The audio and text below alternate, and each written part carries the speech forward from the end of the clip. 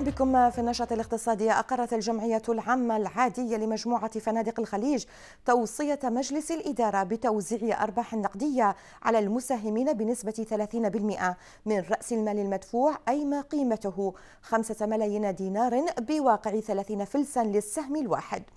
ووافقت العمومية العادية على تخصيص مبلغ 225 ألف دينار للأعمال الخيرية وتخصيص مبلغ 10 ألاف دينار لدعم المؤسسات الأكاديمية والبحثية والتسويقية وتدوير مبلغ 3 ملايين دينار تقريبا كأرباح مستبقاة ترحل للسنة القادمة.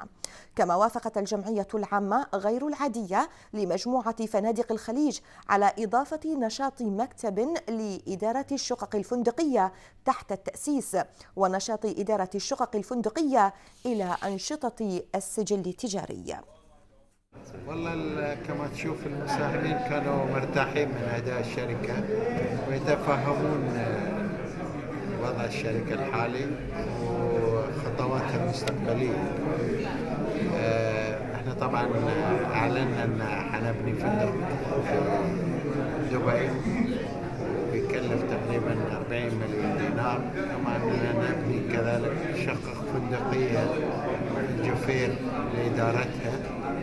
وعندنا مشاريع ثانية الحقيقة تحت التطوير. إن شاء الله الشركة خلال الفترة القادمة يكون أرباحها كثيرة أكثر في المستقبل. أصدر رئيس مجلس إدارة بورصة البحرين السيد يوسف عبد الحمود قرارا بشأن استحداث سوق الصناديق الاستثمارية العقارية في بورصة البحرين وإضافته إلى الأسواق المعتمدة من قبل البورصة للتداول.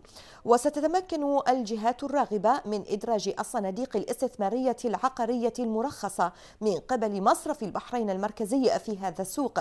كما يمكن تداول هذه الصناديق من قبل المستثمرين في السوق الثانوي طبقا للقواعد العامة للتداول الواردة في مجلد قواعد السوق.